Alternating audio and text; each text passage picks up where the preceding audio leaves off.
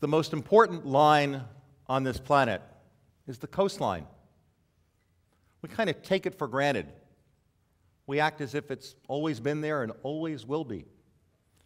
And it's understandable because for all of human recorded history, which goes back about 6,000 years, it hasn't really moved. But things are changing now. And we need to see the new reality. We need to separate the fact from the fiction because the shoreline is a really important line.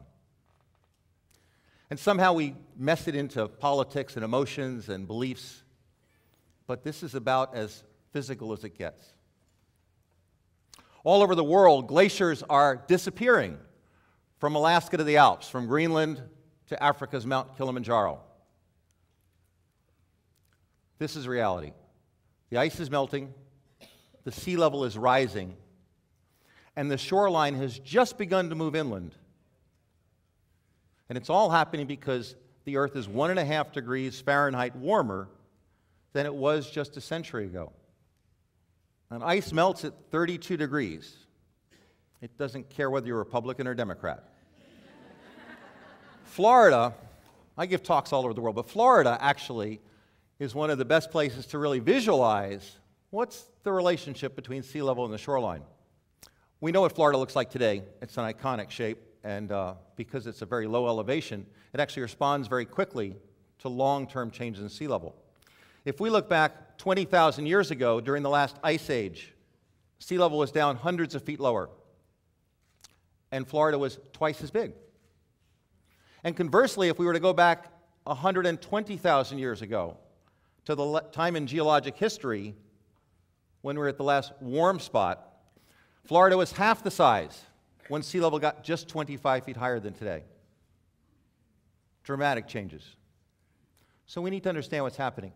The difference between those two states, that was a natural heating and cooling cycle that we call the ice ages. It happens about every 100,000 years. It's been going on for millions of years. You probably learned something about the ice age, but I'd like to refresh your memory. I won't let it get too technical. Maybe you saw the four part scientific series, particularly part two Ice Age The Meltdown.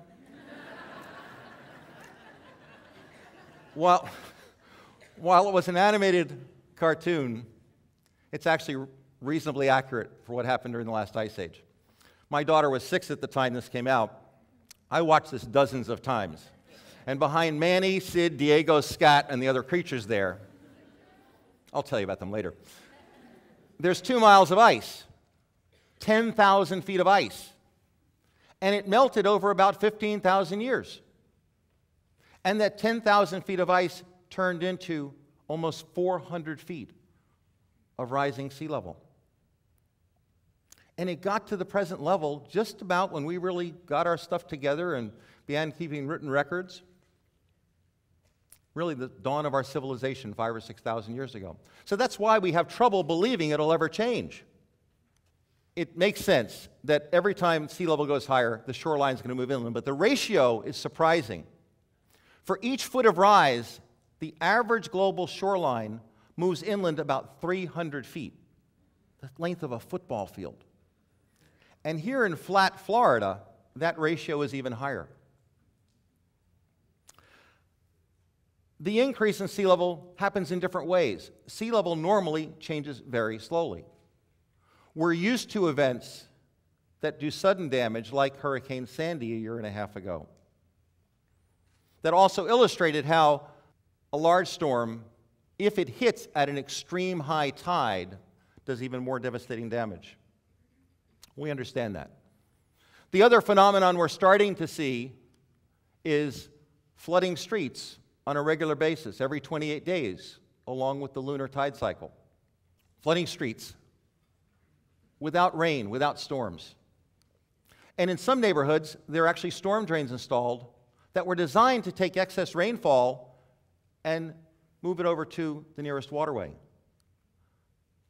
Those storm drains now work in reverse every month, and some months worse than others, depending upon the alignment of the planets the salt water is backing up through the storm drain. It's happening from Key West and in Broward County and up toward Palm Beach County and out in Seattle, all over the world. low lying coastal areas. That didn't happen a few decades ago when those streets were designed like that. Something's changing. We're not noticing it. This is a house that's in one of those neighborhoods. I don't know if you can see it, but underneath the for sale sign, there's a little red accent sign that tells us it's waterfront property with a pool. Good to know. We need to look at some facts and also identify some fictions and misunderstanding. The polar ice cap is not why we're getting sea level rise. That's floating ice. And like ice cubes in a glass, protrude 10% over the water. And as they melt, they do not add to the level of liquid. You have to add ice or add liquid to get the level to rise. The same for the ocean. What it does prove, the disappearance of polar ice cap which has been frozen for three million years. And it will be ice free starting in September in the next few years, certainly within 20 years, is that we are in a new era. And trivializing it and making it political and pretending it's not going to happen is not going to do any good. There's enough ice presently on Greenland and Antarctica and in the glaciers of the world to raise sea level 212 feet. Now, don't panic. It's not going to happen this dec- century and it won't happen next century. We don't know whether it'll take 300 years or 3,000 years. We're running the experiment now. You're all part of it. It's not a really good experiment, but we're doing it. If we look at the long term trend of sea level, it goes up and down in a regular pattern, left to right, 400,000 years. That shows us four ice age cycles.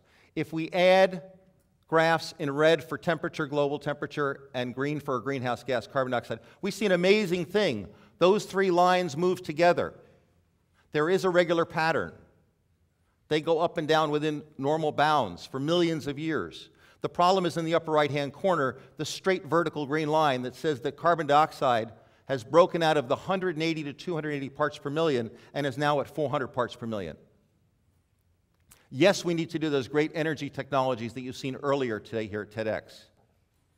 We should try and conserve energy and do amazing things, but we need to deal with the reality that there's enough extra heat already in the ocean that the ice is going to keep melting for centuries. We can slow it, but we cannot stop it. It's different than the storm surge, which recedes in days, and the extreme tide, which recedes in hours.